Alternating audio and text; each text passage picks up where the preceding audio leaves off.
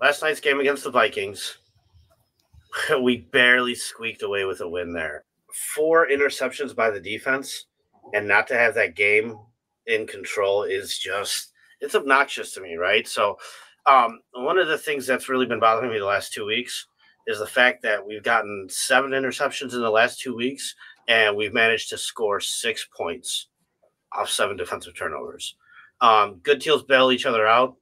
We definitely are, are not doing that. You know, our defense is showing up and our offense is laying down flat. If you wanted to beat the Lions, you you should have capitalized on some of those turnovers. I just started kind of looking through some statistics. I know we talk about statistics all the time and context of statistics and whatnot. So um, I took a large sample size and I, I, looked at the times that the Bears did make the playoffs since the year 2000. And one glaring stat kept popping up that I noticed that that seemed to be pretty consistent, and that was point differential. Now, you might say that's obvious you got to score more points than the other teams score against you, right? I think last year the Vikings were like the first team to ever make the playoffs with uh, negative point differential. In 2001, when the Bears were first in their division and went 13 and 3, we had plus 135. In 2005, when we went first in the division, we went 11 and 5. We had plus 58. In 2006, when we went 13 and 3, first in the division, we were plus 172. In 2010, when we were first in the division, went 11 and 5, Four, plus 48. 2018, when we were first in the division, went 12 and 4, plus 138. And even the time we snuck in in 2020 at 8 and 8, second in the division, we were still plus 2, which isn't a lot. But now you look at the last three years 2021, Nagy's last year, negative 96. 2022, negative 137. This year, we're already at negative 54. This is, in my opinion, what the overall picture for the coaching staff is. You get you guys don't score points. You you don't capitalize off defensive turnovers. You suck. Uh, yeah, point differential is huge. It is and it isn't. I mean, you can be a you can be a powerhouse uh, point differential team and not be like consistently good week to week because if you blow out one team, you know, one week and then just squeak by every other week, it's it, it'll be uh, skewed. But I think more to the point of what you've mentioned in that sentence and what I've been saying is there's no identity in the team and there's no bailing each other out. When you watch a game like Detroit uh, last week, every single player on the Lions just kind of stepped up where the other parts of it kind of lacked. And with the Bears right now, it's just everything has to go perfectly, basically, for you to even come close to winning a game, even against bad teams like Minnesota. I I kind of saw this coming from Minnesota, not to this extent. I just didn't think that the job uh, Josh Dobbs like fairy tale could continue and all that stuff. But even with how badly the Vikings offense played and how well the Bears defense played, you barely squeaked it out. Like, why does everything have to go so perfectly for you to kind of win? And what that is, there's just no complimentary football. Like, two things that we always, me and you, kind of believe in, and this is just our tenets of football, is like situational football. And you learn that from like Bill Belichick, right? A situational football game with those kinds of things is like, there seemed to be no awareness and it's completely disjointed on offense and defense. Where if the defense is doing so well, as an offense and as an offensive coordinator at that point, you need to change what you're doing. You need to change your schemes. You're not doing screen pass anymore. You're not doing this and that. If you get an interception and the ball's on the 40 and you know that you're just consistently dominating on defense, the situation changes to where we need field goals every single time, at the very least. I don't care if it's a deep shot, I don't care if it's a screen for all or nothing, but situationally, start calling plays that are different based on where you are in the game and where you are on the field. And yesterday was just this disjointed, weird mess where it just seems like Luke, go do your thing. I'm going to do my thing. Hopefully, it works out at the end. And that's how it feels. And that worked one time for the Bears with Vic Fangio and Matt Nagy. And that was just because it was like an amateur head coach or first time head coach. And Vic was like a, pro- a head coaching candidate. And that kind of can work, but it still needed to be complimentary. And they did that in 2018, where they ran the hell out of the ball. They did some play action. They scored a few points, and then they let the defense take care of the rest. But right now, this is just, I would like to see some communication and cohesion. And I don't know. I think there's a lot of things that still are going to shake out this season where I think a lot of I think the things we expected to happen are not going to happen and we may be disappointed. Isn't it crazy that with 5 minutes to go in the fourth quarter, you had both fan bases sitting there thinking, I can't believe we're about to lose this game. Yeah. because I, I, know my confidence level was very low. Mm-hmm. And I mean, look at that. The last two drives before the final drive, both ended in fumbles. You know, if you could have just even played a clean fourth quarter, the feeling and the conversation I think would be a lot different. But to just go out there and fumble twice like that was was very disappointing in my opinion. However, hey, a win's a win. We needed it. Um, as sloppy as it is, this team needs every single win it can get. So I still like Fields, and I don't think I don't think he's like somehow developed a reputation as a uh, as a not clutch quarterback because I think he's good in those situations.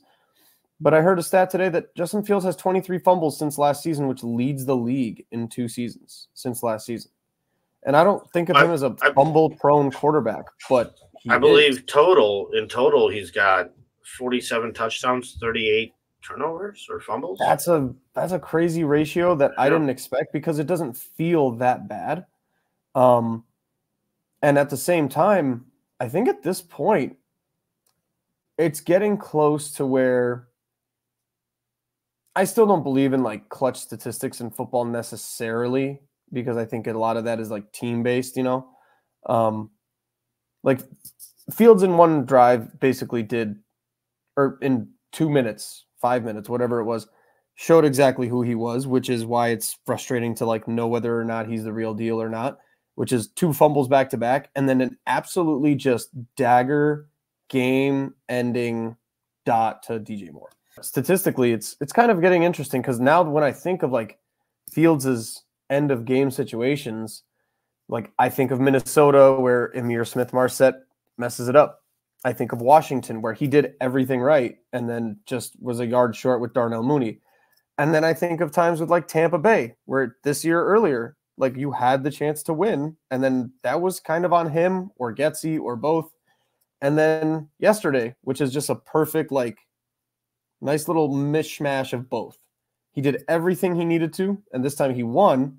But you could argue that if he didn't make that one pass, he was the reason or one of the big reasons that they lost last night.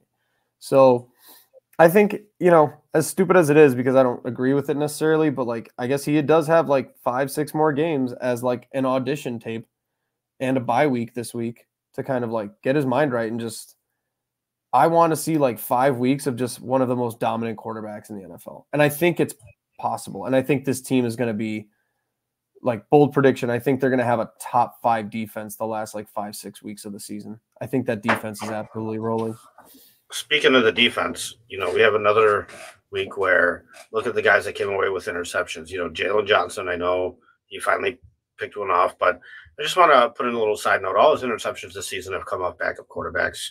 So just throwing that out there. Um, TJ Edwards comes away with his second interception in two games. He's also leading the team in tackles. I think he's leading the league in tackles. Um, you have Jaquan Brisker coming away with an interception. Ryan Poles draft pick. You have Kyler Gordon coming away with an interception. Ryan Poles draft pick. So it looks like a lot of Ryan Poles draft picks the last couple weeks on defense have actually been showing up, um, and you know making some big plays. Uh, this defense is second in the rush. However, I believe they're dead last in sacks. Now, mm-hmm. the addition of Montez Sweat in the short couple weeks span that we've had him he's made a difference. And I thought that there's a chance that his play might go down a little bit since he's going to a situation where the uh, defensive linemen around him are not as good as they were in Washington. However, I think the opposite might be happening to where he, he might be elevating the rest of the defensive line. I was not a huge fan of the Montez Sweat thing and dead wrong. Love it. I'm so glad I was dead wrong because what you see is just, like you said, a guy who's really elevating and uh, just like technically sound. And it's it's kind of interesting because I think he should be your second best defensive like lineman at any given moment to be a really really good team.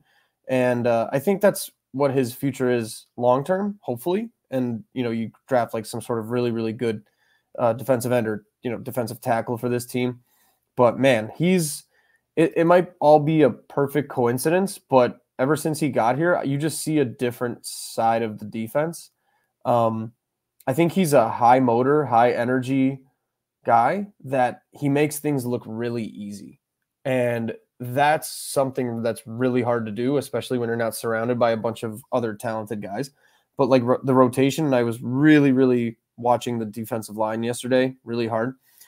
It's a good rotation right now. They they really put in Dexter and Billings and uh, Justin uh, Justin Jones, who you for kind of forget is still here, and then rotating a defensive end is really really good.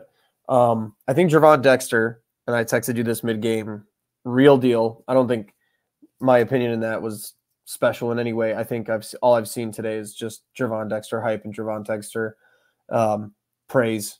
The guy is figuring it out, and you probably got a really really good player here.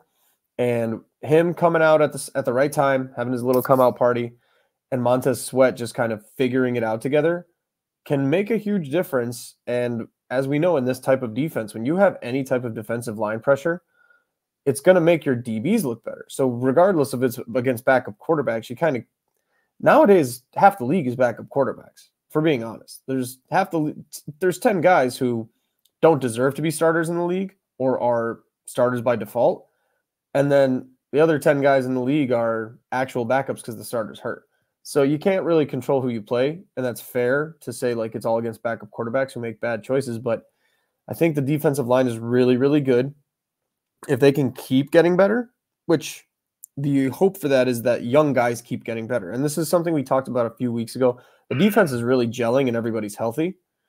Um, hopefully everybody stays healthy. And I think this is like my bold predictions, like top five, top 10 defense for the remainder of the year. When you take a look at the roster, and I know you said this might be a better conversation towards the end of the season, but I just want to kind of bring it up now because, like, looking at things now, when you take a look at the roster in itself on both sides of the ball, on defense, say you lose Jaylon Johnson, right? You may need a corner. You still need a defensive tackle. I think you still need a defensive end. Uh, and you may need a safety to replace Eddie Jackson right? However, mm-hmm. I feel like the rest of the positions are at least at least we have average talent, if not better, at the rest of the positions. On offense, I, I feel like you need a center. I feel like you know you may need you, you know you have Braxton Jones at left tackle, but if you get a premier left tackle, that could be an upgrade. And you know you could use a guard too, so you need some pieces on offensive line. However, if you lose Darnell Mooney, you may need, you know, a late round wide receiver. You may need maybe a late round running back. How, but there isn't as many glaring holes on this roster as there was last year and the year before.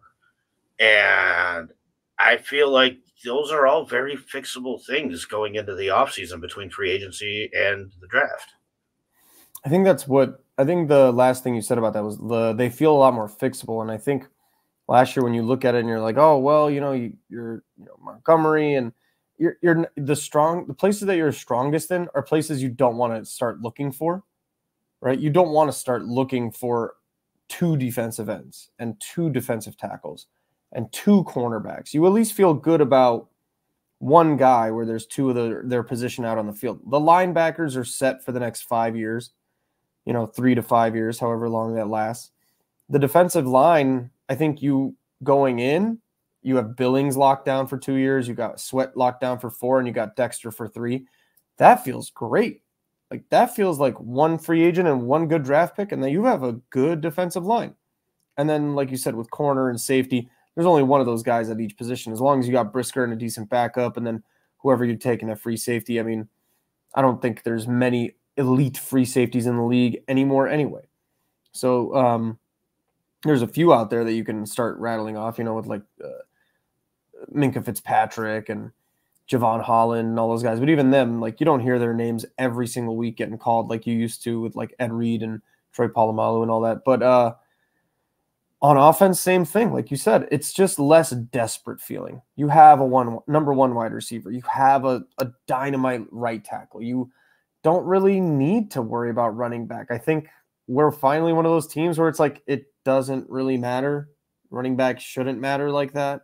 It almost is. It almost feels better that you don't have to worry about a Saquon Barkley situation or or uh, uh, Travis Henry or anything like that. Like it feels good that you don't have to worry about that with them and Montgomery. So yeah, I think just the roster has a lot more flexibility than it did last year, and you know that we said that the one place that we feel comfortable at least not making any major changes is just Ryan Poles, and I think just letting him have like one, maybe two more drafts, then finally giving a verdict. I don't think there's an official verdict on Ryan Poles yet, as there shouldn't be. No GM should have their job critiqued after two years of a rebuild. I think that's insane. Give them at least five years, you know, to see what they do. But so far, so good. Moving forward, I think this is a really not intimidating schedule. And my prediction was that they rattle off three to four games out of six, and they already have one out of six. So let's see what you think. Where are the wins or where are the losses? Lions next week or uh, the week after. How do you feel about that one overall? Not no official prediction, but I mean, we played them really tough. However, I still think good teams find ways to win. And I mm-hmm. think the Lions have won in many different ways this year. And I think they will continue to do that. Um, yeah, I don't think I'm not intimidated by them, but I don't think we we win that game. I don't see a two game winning streak by this team. So I have I predict a win for logical reasons more than emotional reasons. I do think we played them tough, but that team is really struggling right now. They need a break and they don't have one. They just lost to the Packers. They are absolutely getting dominated on defense. And Jared Goff is a notoriously bad cold weather quarterback. And at that point, it's December 10th in Chicago with Jared Goff. I think they'll run the ball, obviously. But again, the way the Bears are trending, and the way the Lions are trending, I think the Bears are trending just up enough and the Lions are trending just down enough to where I think they might split this. So I'm going to say a win. I my the reason why my, my analysis says like win. My gut says 100% we lose. I'm with you. The reason why I'm always kind of down on Jared Goff and, and I kind of am a little bit biased for the people that say he's good because I'm like, nah, he's he, he's not really that good, is because um I went to, I believe it was 2018, I think, December 15th. The Rams game? Uh, the Rams night game, where it yeah. was like 15 to 9, nothing but field goals. Mm-hmm. And yeah, so so I saw him at Soldier Field in that cold weather. And yeah, he does not not play well. He's a California Definitely kid. Not. He hates yeah. it. Okay, so I have him two and zero. Oh. I don't necessarily believe what I'm saying, but I, you know, I, that's what I'm going to guess. Okay. Then it's we got Cleveland at Cleveland. Um, I love the the meme I sent you that Deshaun Watson did to Cleveland what he could not do to 300 masseuses. mm-hmm. um, that team, that team's in shambles. Uh, man, I don't they're not a bad team. I just don't trust them. I think we have a really good chance of getting a win against the Browns. Okay. That's where I disagree completely. I think um, Myles Garrett because well, I was going to say, based off the history though, the last couple times we faced them, Myles Garrett has dominated, and the Bears have struggled against them just personnel wise. Yeah. However, I'm not sure yeah, I'm, I'm not sure if they have much to play for even, and uh, you know, especially with the backup quarterback in there and everything like that. I just, I think that that is an opportunity for us. I but, think, yeah, so that's where we differentiate. Again, I think again, I agree with your logic. I think Browns are a good enough defense to completely shut us down. I think that game is going to be like, honestly, like 13 to 3. And I think it's going to just be an absolute like sloppy, wet fart of a game from the Bears. And I think it's a perfect way that this coaching staff and this whole season just kind of goes where you beat the Vikings, you feel really good. You beat the Lions, you feel great. You beat them at home two in a row. You think you're going to streak and beat the Browns because they got PJ Walker and a backup quarterback. and then you just come out and you just blow a big wet fart and just ruin that game. And I think that's just the most perfect indicative, like kind of way I see the season playing out and making sense. Um, Cardinals at Chicago, uh, Christmas Eve. Um, I will take a win there. I think we're better than the Cardinals. I think so too. And I think the one way that Cardinals beat you is Kyler Murray kind of scrambling around. And at that point, I think you can hit them hard enough in the cold weather and kind of shake them, rattle them a little bit. Um, I think it won't be pretty either, but I, I'm going to go with you. So that's two more wins out of five. Bears at oh Falcons here on New Year's Eve. Um, we've struggled to beat the Falcons, and I think they're going to win. I think we lose. I, I actually, yeah, I agree. I think the Falcons are pretty good coach team, and I think they've got some skill position players that are good enough. And then to finish the year, you got the Packers at Lambeau. I hate this because I want to beat them so bad, and I don't think they're a good team. But yep. but yeah, they they might be playing for something. Actually, they have yep. a good enough record to where they're in the hunt for a playoff mix, and if they're playing hard at the end of the year to, to try and get into squeaking the playoffs or wild card game, then I think they'll be a lot more motivated. And they've beaten us before. I think they beat us again. I hate that we agree on this. I agree. Um, I don't think. I think by the end of the season, we probably have a better record than the Packers. I think Packers are absolutely terrible. Um, and I think that game will basically be for second place in the division. And I think we'll end up being third. And I think the Vikings are going to slide all the way down to the last place. I think after this game, the Vikings are probably going to be in shambles. I, the Josh Dobbs story had to end eventually. Dude, this is one of the like I, I have never been like blood boiling like this where I was like so mad about the refereeing and like the fixed game shit. He got he gets driven into the sideline of the Vikings, and then two bench players start dogpiling him and ripping his face mask off. And he gets penalized. Like, watch this.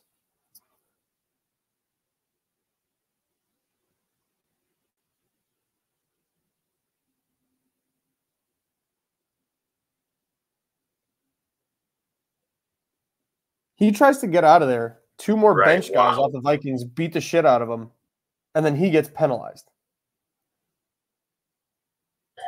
It really felt like the refs had something against us yesterday. I mean, like the comments I, of this are like serious. He goes, Kyler Gordon blocked him out of bounds after Jaylon Johnson's interception, and the Vikings receiver couldn't get off a block. So he brought Gordon down by his face mask, started swinging at Gordon, and then Gordon got penalized.